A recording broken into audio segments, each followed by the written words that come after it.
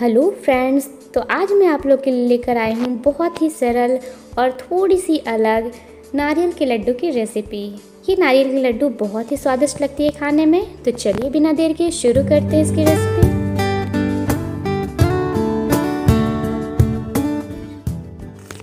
तो उसके लिए यहाँ पर मैंने ले लिया है कच्चा नारियल, जिसको मैंने अच्छे से वॉश कर लिया है, और इसका जो ब्राउन पार्ट होता है, उसे हमें छील लेना है। इस तरीके से और इसे अच्छे से वॉश करके छोटे टुकड़ों में काट लेना है हमें। ध्यान रहे फ्रेंड्स कि इसका जो ब्राउन पार्ट है, उसे हमें छील कर अलग कर लेना है। उसके बाद हम ले लेंगे एक ग्राइंडिंग जार और इस जार में इस, ये जो नारियल है हमारा, इसको हम अच्छे से दरदरा पीस लेंगे। इसको हम अच्छे से पाउडर बना लेंगे इसका। ये देखिए फ्रेंड्स, यहाँ पर मैंने इसको पीस लिया है अच्छे से और एक कप में मेज़रमेंट के लिए इसमें डाल दिया है। तो ये एक कप से थोड़ा सा कम है। तो आप मेज़रमेंट के लिए कोई भी कप सेट कर लीजिए। उसके बाद हम चढ़ा देंगे कढ़ाई या पैन और जैसे ये हल्की गर्म हो जाए तो ये जो हमारा कोकोनट का पाउडर बना था उसको हम इसमें डाल देंगे।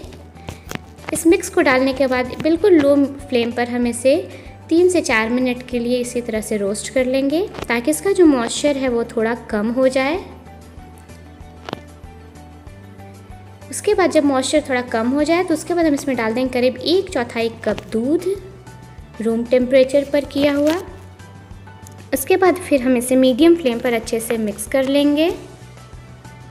फ्लेम को मीडियम कर लें और जब नारियल अच्छे से दूध को एब्जॉर्ब कर ले तो यहाँ पर हम डाल देंगे करीब हाफ़ कप पिसी हुई मिश्री, या फिर आप यहाँ पर चीनी भी यूज़ कर सकते हैं। ज़रूरी नहीं कि वो पिसी हुई ही हो। आप ऐसे भी उसमें डाल सकते हैं। उसके बाद इन सभी को हम अच्छे से मिक्स कर लेंगे। फ्लेम को कर देंगे लो टू मीडियम फ्लेम और ये सभी जब अच्छे से मिक्स हो जाए और जब चीनी अच्छे से घुल जाए, उसके बाद हम यहाँ पर ऐड कर देंगे खोआ। तीन से चार बड़े चम्मच। या आप इसकी जगह पर तीन से चार बड़े चम्मच मिल्क पाउडर भी ऐड कर सकते हैं अगर खोआ नहीं है तो। और उसके बाद हमें इसे अच्छे तरीके से मिला लेना है और कुछ देर के लिए, पाँच से छः मिनट के लिए पका लेना है लो टू मीडियम फ्लेम पर।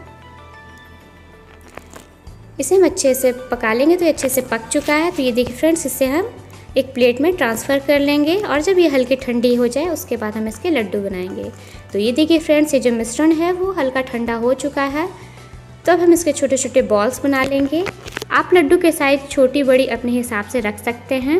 तो इस तरीके से हल्के हाथों से दबाते हुए इसे गोल करना है और इस तरह से शेक करते हुए इसका गोल शेप ले आना है। ये देखिए फ्रेंड्स, इस तरीके से उसके बाद मैंने यहाँ पर सूखे नारियल का बूरा लिया है और अगर आपके पास है तो आप इसकी कोटिंग करें और अगर नहीं है तो ऐसे भी ये लड्डू बहुत ही स्वादिष्ट लगती है। तो इस तरीके से हम इसमें कोट कर लेंगे। तो ये देखिए फ्रेंड्स, इस तरीके से सारे लड्डू को प्रिपेयर कर लेंगे हम। तो ये लीजिए फ्रेंड्स, ये सारे लड्डू बनकर है रेडी तो इसे हम अच्छे से गार्निश कर लेंगे किसी ड्राई फ्रूट से। तो यहाँ पर मैंने काजू से इसे ऊपर से डेकोरेट कर दिया है। आप अपने मनपसंद के ड्राई फ्रूट से इसे डेकोरेट कर सकते हैं।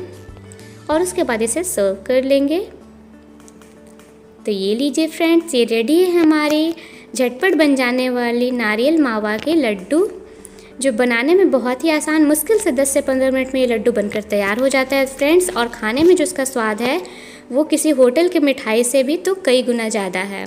तो उम्मीद है फ्रेंड्स कि ये वीडियो आपको पसंद आई होगी। अगर हाँ तो एक लाइक ज़रूर दें, और अगर आप मेरे चैनल पर नए हैं तो मेरे चैनल को सब्सक्राइब कर लें, और बगल में जो बेल आइकन है, उसे प्रेस करना ना भूलें।